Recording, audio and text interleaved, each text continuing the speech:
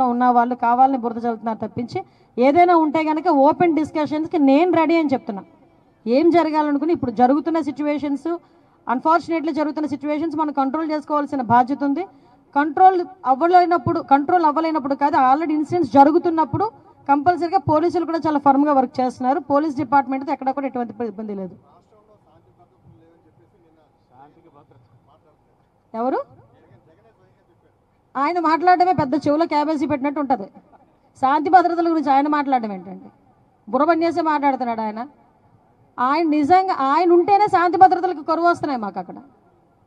యాక్చువల్గా మొన్న వచ్చి ఒక మాట అన్నాడు. ఎవరైతే మర్డర్కి ప్రేరేపించిన కూడా తీసుకెళ్ళి జైల్లో వేయాలట. అదే కనుక జైల్లో వేసేయాల్సిన పరిస్థితి వస్తే ఫస్ట్ వేయాల్సిన జగన్మోహన్ రెడ్డిని వేయాలి. వివేకానంద రెడ్డి హత్య కేసులో ఎవరు ఎవ- చేతులన్నీ ఎవరి వైపు చూపిస్తున్నాయో దేశం మొత్తం మీద చేతులన్నీ ఇంక్లూడింగ్ వివేకానంద రెడ్డి గారి కూతురు చేయి కూడా ఎటువైపు చూపిస్తుందో మనందరికీ తెలుసు. అటువంటిది అలాంటి వాళ్ళు ఈ రోజు వాళ్ళ కింద ఏదో గులివింద కిందకి కింద మచ్చని తెలియదంట ఎవరికైనా. వాళ్ళ కింద ఉన్న మచ్చల గురించి మాట్లాడడం మానేసి ఏమండి మాట్లాడుతున్నారు శాంతి భద్రతల గురించి? ఇదే రాజమండ్రిలో దిశ పోలీస్ స్టేషన్ ఓపెనింగ్ రోజు ఒక అమ్మాయిని గ్యాంగ్ రేప్ జరిగి అదే రోజు సాయంత్రం తీసుకొచ్చి ఆటోలో వదిలేసి వెళ్ళిపోయిన సంఘటన. మీరు ఎవరైనా మర్చిపోయారా? ఇక్కడ ఉన్న రాజమండ్రి ప్రెస్ ఎవరైనా మర్చిపోయారా? ఆ రోజు మీరే కవర్ చేశారు? నాకు ఇన్ఫర్మేషన్ ఇచ్చింది కూడా మీ వాళ్ళే. మళ్ళీ అమ్మాయిని మేము అందరం కూడా చూడటానికి వస్తే ఆ రోజు మమ్మల్ని ఆపడానికి ప్రయత్నం చేశారు. ఈరోజు మేము ఎక్కడ కూడా ఆపట్లేదే. నంద్యాల వెళ్తారన్నాడు వెళ్ళాడు. తర్వాత మనం నీకు విండుకొండ వెళ్తారన్నారు వెళ్ళాడు.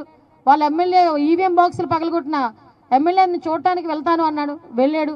మేము ఎక్కడ కూడా ఫోర్స్ పెట్టట్లేదు ఎక్కడ కూడా మిమ్మల్ని ఆపే ప్రయత్నం కూడా చేయట్లేదు. ప్రజాస్వామ్యబద్ధంగా మీరు ఎక్కడికైనా వెళ్తానంటే వెళ్ళండి అని చెప్తున్నాం.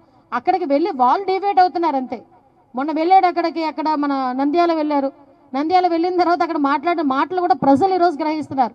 వెళ్ళి వాళ్ళ కార్యకర్త ఎవరైతే చనిపోయారో చనిపోయారని అంటున్నాడో ఆయన ఆయన పరామర్శించి వాళ్ళ కుటుంబానికి ఏదో ఆర్థిక సాయం చేసి రావాలి బ్యాక్కి. అవేమి జరగవు. అక్కడికి వెళ్ళి నేనుంటే అమ్మఒడి ఇచ్చేవాడిని నేనుంటే రైతు భరోసా ఇచ్చేవాడిని నేనుంటే అది ఇచ్చేవాడిని నేనుంటే ఇది ఇచ్చేవాడిని ఏక పాట పాడుతున్నాడు. అది అందరం చూస్తూనే ఉన్నాం. అంటే సందర్భాన్ని బట్టి కూడా మాట్లాడడం చేతకాక ఏది పడితే అది మాట్లాడే పరిస్థితిలో ఈరోజు పులివెందుల ఎమ్మెల్యే గారు జగన్మోహన్ రెడ్డి గారు ఉన్నారండి. అది ఆయన నైజం అంతే. ఆయన భద్రత ఎక్కడ కుదించాం మీరు నేను వెళ్దాం పదండి ఒకసారి. ఆయనకి ఎంత భద్రత ఇచ్చామో మేము చెప్తాం. ఎక్స్ సీఎంగా ఆయనకి ఇవ్వాల్సిన జెడ్ ప్లస్ సెక్యూరిటీ ఆయనకి ఇచ్చాం. ఎక్కడక్కడ ఆయన కావాలని తొమ్మిది వందల ఎనభై మందిని పెట్టాలంటే తొమ్మిది వందల ఎనభై మంది అంటే ఒక గ్రామంలో ఓటర్లు అండి. తొమ్మిది వందల ఎనభై మంది పోలీసుల్ని ఈరోజు దగ్గర దగ్గర దగ్గర స్కార్సిటీయే దగ్గర దగ్గర ఇరవై వేల మంది పోలీసులు ఈరోజు స్కార్సిటీ ఉంది. మాకు. అందులో తొమ్మిది వందల ఎనభై మందిని ఒక క్యాండిడేట్కి మేము రక్షణకి పంపించాలి. దేనికి రక్షణ ఈరోజు? ఆయన దేనికి భయపడుతున్నాడు?